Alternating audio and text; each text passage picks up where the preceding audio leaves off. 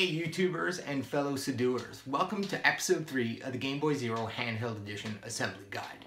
In the last episode, we finished the backside of the Game Boy Zero Handheld Edition PCB. As you remember, we did TP4056, the, the JST, some of the buns, and the header row for the Raspberry Pi. Uh, today, we're going to be looking at the front side. Uh, loads of buttons, there's 10 in total. Uh, only one resistor and the coup de grace, the LCD screen. Let's go.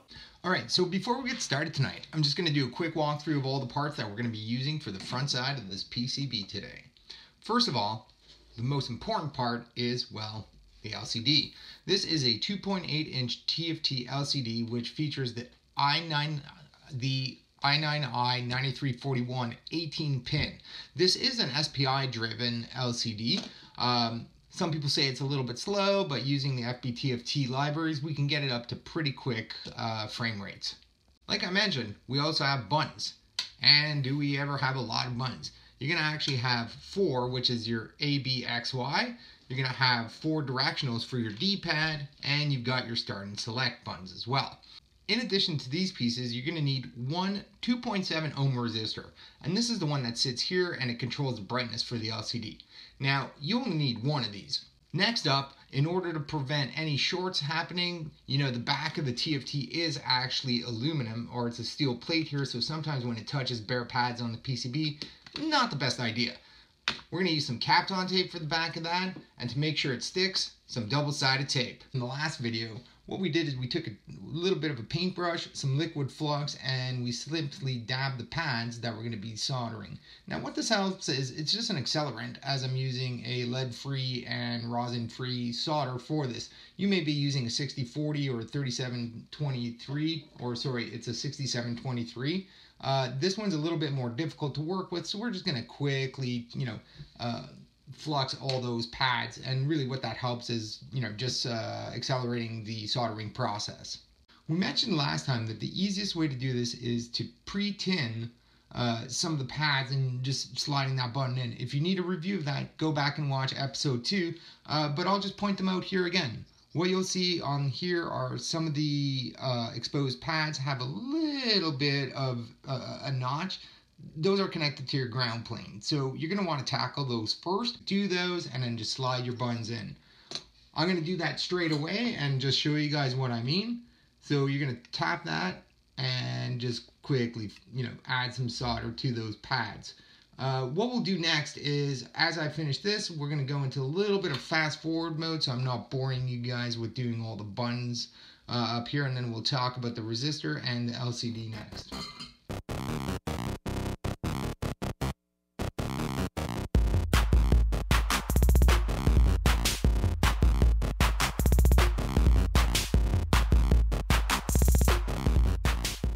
All right, well that's the buttons done. All 10 of them are now uh, soldered in. Next one we're going to do is this little 2.7 R resist 2.7 ohm resistor here. Uh, and if you remember from episode 2, what we typically do is we tin one of the two pads for the 0805 component, and then we simply heat that pad with the solder on it, slide the component in, and let go. It's pretty much done.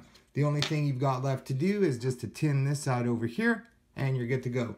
Again, we are using the chisel tip on this, uh, which kind of works like a fountain pen. So it keeps uh, solder on the tip itself. So, you know, if you've got flux on there, it just kind of pulls it in and you don't need to constantly uh, keep soldering that up. On the back of the LCD, you've got these two adhesive strips and they help you stick it onto the circuit board. We don't really need them and they are going to get in the way. So we'll just peel them off while we're at it. Now they are a little bit finicky at times, but we'll get them off. The next thing you'll notice now that we've got the adhesive tape off the back of the LCD are these little nipples in the corner. Now what those are for, those are meant to sink in as mounting positions or lock positions, similar to the way the power switch works on this. We don't really need them, so we're just going to clip them off with a pair of cutters. Around the, the, the ribbon, just be careful not to cut any of that ribbon. It is relatively fragile and we do need that in one piece. Cool. Now it'll sit flush, but we still got a little bit of prep work to do. All right, now we've got the backside covered up with Kapton tape. What you'll probably just want to do is take a pair of scissors or an X-Acto knife and just, you know, cut the remainder off. You can also wait until that's on the board to do that. It, now we're going to look at these 18 pins here and we're going to just quickly tin them up lightly. So what you want to do is the top one here, number one, is actually the ground and that's probably the safest to hold your iron on for a little bit longer. Just hold it there, put some solder and just drag it down across. What you want to do is kind of just work it in there and make sure that you don't have any bridges, inspect them, and you'll see it's just kind of running like like like like a pen. Um, if you take a look a little bit closer, you'll see across the top it's just little bubbles, but there's actually four in the middle that are connected together, and those are your LED 1 through LED 4. Uh, don't worry if those are bridged, those are the lower four here. Uh, the one that you're going to be worried about are the top ones. When you're dealing with fine pitch soldering, you know, one of the things that you can do here and a tip I, I typically use is just, you know, drag it across every few uh, just to make sure you don't have that bridge going on there. The last thing you want is, you know, a connection between pins that aren't supposed to be connected. That looks nice and clean to me. Let's put the LCD on. Now, on the actual LCD is another piece of adhesive tape. This is going to go down against the board. You can go ahead and peel that one off now. Another tip that I can give you here is I typically use flux on both sides of these copper pads here, and it just really helps pull the solder right through. I don't know if you can see them really well, but there's tiny, tiny little holes. And what that does is it pulls that solder through the hole and up and onto the other surface. Now, before you set it down with any adhesive, you want to make sure you line those pins up. I typically look at the first and the last one just to make sure they're nicely lined up. And there you go. We're just going to hit that. And then we'll top, we'll hit the top one here. So this is the ground with our soldering iron just to hold it in place make sure, you know, you still got a little bit of wiggle there. We'll take a look at that last pin and we'll put it there. We'll work on the other pins as we go along. All right, so we've got them nicely lined up and we're just gonna do what we did earlier and that's just pulling that soldering iron across the top of that ribbon until all of them have pulled through. You'll start to see the top of the copper connection turning silver from the solder. That's good. All right, now you've got that soldered up nicely. Before we finish off, we're just gonna fold this over gently. We're still gonna get back in here, put another strip of Kapton tape across the top to hold this ribbon down, and then we're gonna put our double-sided adhesive tape here. But for now, we're just gonna turn this, and we're gonna turn it over. One of the things you might be asking yourself is, did I solder it right? As you see right now, I've just got a socketed Raspberry Pi Zero that I use for all my testing. There's no SD card in it, and we're gonna turn the power off. And here we're just gonna plug in our USB as you see, we're getting power just the way we did yesterday with the test. And if you remember, the yellow, the red blinking light is because I've got no battery plugged in. There's my LCD, and I'm gonna flick that switch. Now, the one thing you're gonna want is a white screen. This for now means you've connected it properly, it's powered, and all the LED light is working, the backlight is working. Uh, you know, and in the middle are the SCL and the SDA and the clock lines. We'll worry about those in a little bit.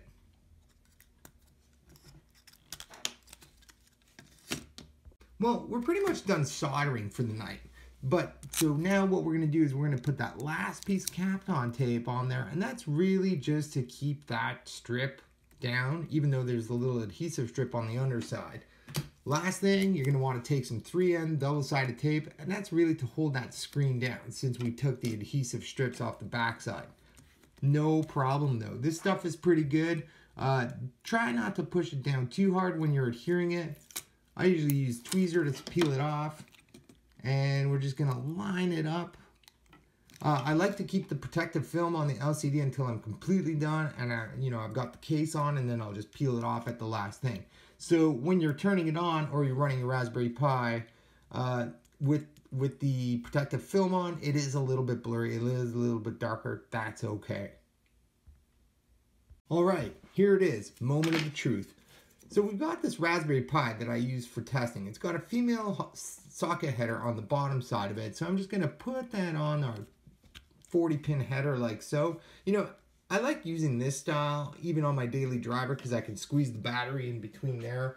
Uh, you'll see in the next episodes how we managed to do that there nice and clean. Uh, this is a 1200 mAh battery. You can use a 1000. It'll fit really nice in behind that Raspberry Pi. Anyway, point of the story is I've got my SD card here preloaded from one of my other Raspberry Pis. I'm going to plug it in. make sure my power switch is off, plug in my USB, and fire it up. So the first boot, typically you are going to see that white screen and eventually that white screen is going to turn to a black screen. I currently have my config and my boot and my command line running in silent mode, so I don't see that booter. Uh, but this is a place where you can add a splash screen, a splash movie, uh, anything like that. The first boot on any Raspberry Pi is typically between 20 to 30 seconds. And there you go. There's that Game Boy Zero handheld edition logo you wanted to see. Uh, again, all right. So as I mentioned earlier, I still got that film in there, uh, as you can see with the big black stripe. So, you know, that is something you're going to want to peel off later. I'm not done working with this one yet. We have a few more things to do. But we'll go through here, make sure all our buttons work. And right now, let's, uh, I don't know, let's take out the old uh, Super Nintendo, shall we? Ah, so my A button isn't working. And as you can tell, I actually missed one pad. That is actually the pad itself that I'm going to need to solder so I can use this button. Uh, across all these buttons, and this is actually a good point. If you do miss and you know some of the buttons aren't working with the pre-programmed image on our GitHub, uh, just double check your button. Even even us pros make these mistakes. Guys, this is something I don't recommend, but I'm actually gonna hot solder while everything's plugged in. And there you go. You see my A button actually working. Pretty cool. Again, don't do this at home. I know what I'm doing. Uh, so we're in the Super Nintendo here, and we're gonna go to. Oh God, let's let's pick uh, Super Mario World. So we haven't done anything with the sound or the USB sound card yet, so it's gonna be quiet, uh, as you can imagine. But here we're just here to test out all these buttons, make sure they all work. All right, there's our screen. Start works, start works, start works. Great. Uh, down works, that's good. And as you remember, I uh, hot soldered that A button. Probably something you don't want to do. Uh, there you go. Everything's working nice. And we're dead. Cool. Guys, thank you so much. Look at the work that you've done today. We got a couple things to talk about for the next episode. Uh, so we're going to follow that through just at the end of this video. Oh yeah, and before I forget, what I do recommend, uh, you know, since since we're working with a live device here, is go through Emulation Station's quit menu. Uh, that's by hitting start, bringing up the modal window, going to quit, and simply at this time just go shutdown system, yes. Uh, it's going to go through the remaining uh, command line here that you're going to see. Once you get the white screen, you're safe to go. Just, just turn it off and pull out the plug and we'll talk about what's next. All right, so if you've been following along, you guys have been making amazing progress.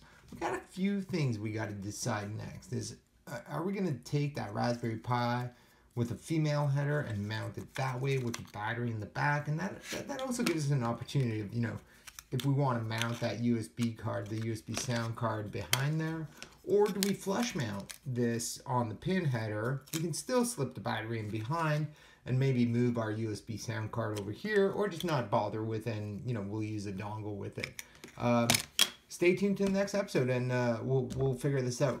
Leave some comments down below. Let me know what you think about what we should do in terms of mounting and the USB sound card and we'll follow up in episode 4. All right, everyone. Well, thanks for joining us for episode three of the Game Boy Zero handheld assembly guide. Uh, just wanted to give you guys a quick recap. We managed to do the LCD, the front buttons, and the little resistor there. We tested it out, made sure it ran. Now what I need from you guys is comment down below what the best way to mount that Raspberry Pi is going to be. Do we flush mount or do we put it with a female header and slip the USB uh, sound card underneath or do we hardwire the USB sound card and attach it a little bit further down for your headphones? Anyway, guys, thank you very much. Keep watching. Let me know below what you think how we should mount them. Have a good night.